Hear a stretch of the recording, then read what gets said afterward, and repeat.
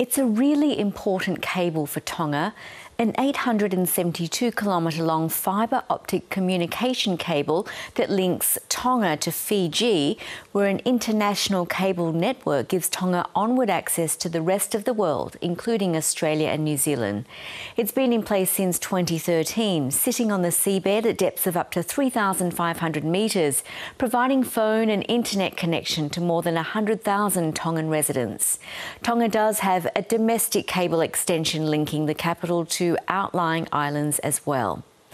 After the Hunga Tonga Hunga Ha'apai eruption on the weekend, connectivity with the Tonga Fiji cable was lost.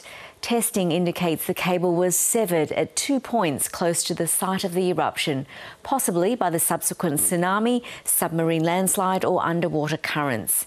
The prospect of further eruptions makes it risky for repair vessels and crew to work in the area.